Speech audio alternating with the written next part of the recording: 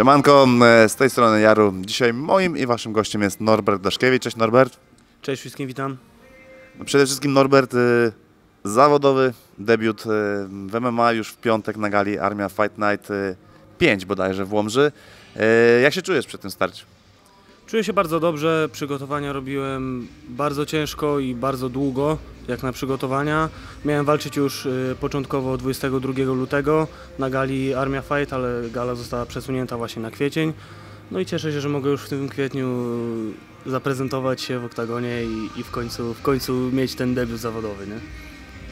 Y, Jesteś zadowolony z tego przesunięcia, czy jednak y, ten y, dłuższy okaz przygotowawczy trochę cię już deprymuje i męczy, już chciałbyś mieć to za sobą? Jak to wygląda? Chciałem walczyć 22 i robiłem wszystko, by tam zawalczyć. Wiadomo, nie ode mnie zależało to, czy, czy ta gala będzie, czy nie. Nie ma gali, jest następna, także dla mnie to nie jest żadna różnica i przeciwnik, i gala jest wszystko jedno. Kamil Goral, e, co powiesz o swoim przeciwniku? E, Co wiesz, czy analizowałeś, e, czy mogłeś w ogóle analizować jego walki amatorskie, czy jak to wygląda? Czy wiesz coś o swoim przeciwniku w ogóle? Raczej nie skupiam się na moim przeciwniku, skupiam się na sobie, na, na swoich przygotowaniach. Staram się jeszcze jak najwięcej nauczyć przed tą walką. Wiadomo, dopiero zaczynam MMA, zapas trenowałem kupę lat, a MMA trenuję tak naprawdę od roku. Nie wiem nawet co bardzo powiedzieć o moim przeciwniku, nie znam go, na internecie ciężko znaleźć cokolwiek na jego temat, także, także skupiam się na sobie i na tym co ja pokazuję i co zrobię, a nie on. Norbert, wywodzisz się z zapasów i e, w sumie w tych zapasach masz mnóstwo też sukcesów, bo pomyl mnie, jeśli się mylę, ale wicemistrza świata zdobyłeś, masz też mnóstwo e, medali z, e, z polskich imprez. Kurde, skąd decyzja na zmianę w ogóle tej branży sportowej, że tak powiem, dyscypliny z zapasów na MMA? Pieniądze są taką główną motywacją, czy, czy jak to wygląda? Nie, nie chodzi o pieniądze, nie po to trenowałem zapasy 12 lat i w sumie nie dostając za to nic tak naprawdę, bo zapasy wiadomo są niszowym sportem, nie ma tam pieniędzy, ale bardziej dla samego siebie już po prostu sytuacja jaka jest teraz w zapasach no, nie pozwalała mi dalej trenować, źle się czułem, przestało mi się to podobać, nie, otoczenie całe robiło zły wpływ na mnie, wolałem po prostu coś nowego, a że walczę całe życie, to nie mógłbym po prostu tak przerwać i skończyć całkiem trenować, a MMA jest najlepszym rozwiązaniem w moim wieku, nie? No tak, no, Norbert, z tego co wiem, pochodzisz z Wrocławia i przeprowadziłeś się do Warszawy głównie po to, żeby trenować MMA, czy, czy w innych celach? Nie, głównie po to, żeby trenować MMA. Wiem, yy, że jest tu najlepszy klub w Polsce, są możliwości, więc jeśli chcę osiągnąć coś w MMA i, i trenować, to jeśli miałem możliwość, a taką miałem, wyprowadziłem się od razu do Warszawy. Trochę pomógł mi Damian Janikowski, mój kolega starszy z Wrocławia też się tutaj przeprowadził. No i jemu zawdzięczam w sumie to, że tu jestem i, i, i to, że tak przyjęli mnie wszyscy tutaj zawodnicy i cały klub. Jak patrzę, Norbert, na to twoje prawe ucho, masz takiego kalafiora, że nie wiem, czy ty słyszysz w ogóle coś przez nim. Nie, słyszę, to tak jest, to tylko tak wygląda. Groźnie, a jest normalną rzeczą, tego nawet nie czujesz. Rozmawialiśmy o tym, o zapasach, o złej sytuacji m, w zapasach. Generalnie ja mam wrażenie, że Norbert, może ty wiesz więcej, ale w każdym takim amatorskim sporcie jak judo, m, zapasy, m, gdzie są związki, boks przecież polski, to wszystko zaczyna powoli leżeć. I co jest tego przyczyną, jak sądzisz? Bo ty jesteś człowiekiem, który może powiedzieć, jak to wygląda od środka. Moim zdaniem przede wszystkim największy problem zapasów i innych takich sportów jest to, że są niszowe i mało, mało popularne. Bo wiadomo, jak jest popularność, ludzie coś oglądają, to są w tym pieniądze, są sponsorzy, są ludzie, którzy chcą się tym interesować. A jeśli tego nie ma, to też ciężko wyżyć z takiego sportu, jeśli się nie osiąga wyników światowych. A zaś wyniki światowe trzeba osiągać najpierw ciężką pracą, a żeby ciężko pracować, trzeba móc ciężko pracować. A będąc zapaśnikiem, jeżdżąc na obozy 150 czy 200 dni w roku, praktycznie cały czas będąc na obrotach, robiąc wagę po 7 razy w roku, po kilka kilogramów, ciężko jest utrzymać tą dyscyplinę, formę i, zdrowie przede wszystkim, jeśli nie ma się na to po prostu budżetu. Nie?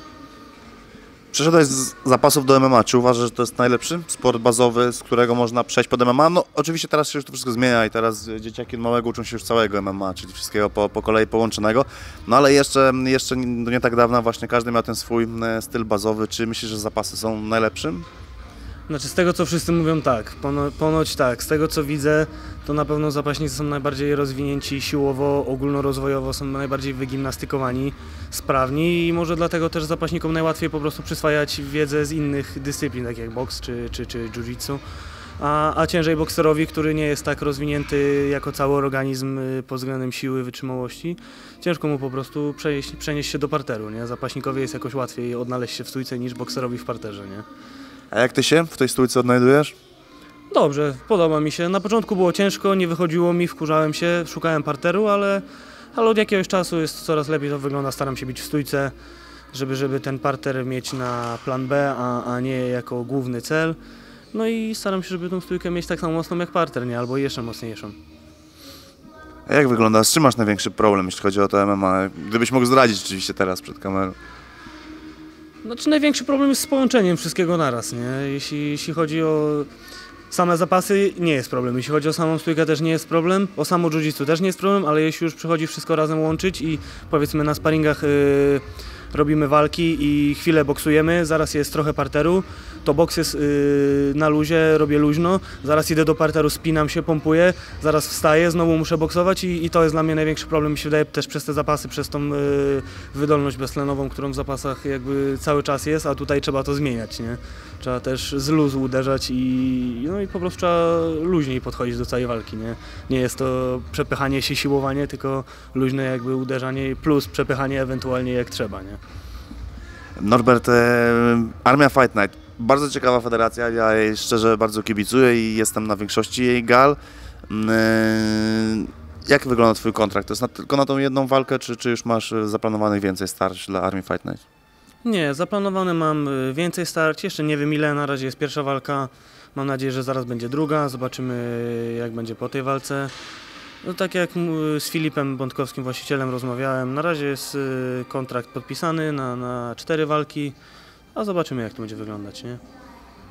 Będzie to jakaś dodatkowa presja dla Ciebie, mm, występ e, na profesjonalnej gali MMA, bo startowałeś w wielu zawodach sportowych i, i z taką presją typowo sportową, że tak powiem, jesteś obyty, a mm, dochodzą publika, dochodzi transmisja w Polsacie. Czy jest to jakieś dodatkowe obciążenie? Nie, ja nie mam w ogóle presji przed tą walką. Bardziej dla mnie presją jest to, żebym przed samym sobą po prostu zrobił to, co oczekuję od siebie. Nie walczyłem już półtora roku na żadnych zawodach, nie robiłem wagi, teraz robię wagę. Po prostu chcę, chcę sam dla siebie pokazać, że, że wszystko jest ok i że, że to będzie szło coraz lepiej. A nie masz presji, sorry, że tak powiem, ciągle tą presję, nie chcę absolutnie na Ciebie jej wywierać, ale jesteś zawodnikiem, który może przerwać złą pasę WCA w ten piątek e, i, i kurczę, jesteś debiutantem, a możesz to zrobić. Jak się z tym czujesz? No w sumie tak, pierwszą walkę na armii z naszego klubu mam ja, więc w sumie następną walkę będę miał ja. No postaram się zrobić wszystko, żeby oczywiście przerwać tą pasę. Oczywiście niech wszyscy nie myślą, że WCA jest teraz słabe, bo przegrało kilka walk z rzędu. To jest sport, to wiadomo, chłopaki przegrywali walki, ale to są walki w największych organizacjach w Europie czy na świecie, więc nie ma co gadać, że jakiś klub tam yy, skądś wygrał ileś walk na zawodach yy, podwórkowych, gdzie startują zawodnicy, których nikt nie zna i tak naprawdę nie prezentują nic wielkiego, a porównywać ich do na przykład Janka Bochowicza, który przegrał niedawno swoją walkę na UFC, gdzie to jest kosmos w porównaniu do polskich gal. I moim zdaniem nic nie ujmuje naszemu klubowi, że, że przegraliśmy te kilka walk, nawet dobrze, czasami lepiej przegrać, żeby potem się podnieść i wygrywać. Co powiesz o walce Damiana Janikowskiego? E, Sam powiedziałeś, że jest to twój kolega, który e, pomógł ci trochę tutaj się zaklimatyzować w WCA. No, oglądałem ostatnio jeszcze raz, e, bo na KSW nie widziałem całej walki. Obejrzałem sobie jeszcze raz na spokojnie. No mega starcie. Mega starcie do czasu knockoutu w zasadzie przez Damiana prowadzone mistrzowsko. No mega starcie, ale mega starcie bardziej Damiana starcie, bo tam jego przeciwnik przez dwie rundy praktycznie nie istniał, nie? Ale taki jest sport, tak samo jak się raz przegrywa, raz wygrywa, tak samo można wygrywać całą walkę dwie rundy, tak jak Damian i, i przegrać przez dosłownie sekundę nieuwagi.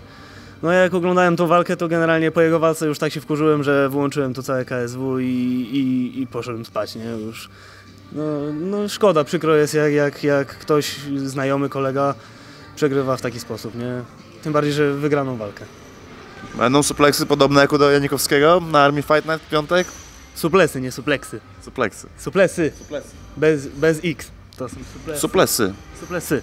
No, bo dużo osób mówi na supleksy, a to nie są supleksy.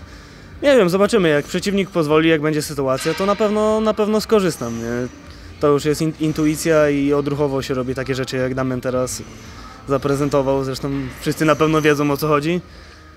Zobaczymy, no ale nie, nie chcę też na siłę za wszelką cenę pokazywać wszystkiego, co umiem czy coś. Wychodzę skupiony, robię swoje i, i tyle. Co, jaka będzie okazja, na jaką akcję, to zobaczymy w piątek. Sporo właśnie jeszcze osób z WCA, zawodników walczy na tej gali, bo walczy Sylwek Miller, walczy Karol Skrzypek na pewno i nie chcę kogoś pominąć, ale Mansur Ażijew właśnie jeszcze walczy. No, e, jest to jakaś e, fajny, fajny element, że razem przygotować się do tej samej gali? Jasne, bardzo fajny. I z Karolem, i, i z Sylwkiem, i z Mansurem robiłem y, w przygotowaniach. Wszyscy są na pewno w dobrej formie. Naprawdę ciężkie sparingi robiliśmy i dużo, dużo potu wylaliśmy tutaj na macie, żeby, żeby wygrać te walki piątego i mam nadzieję, że tak się stanie.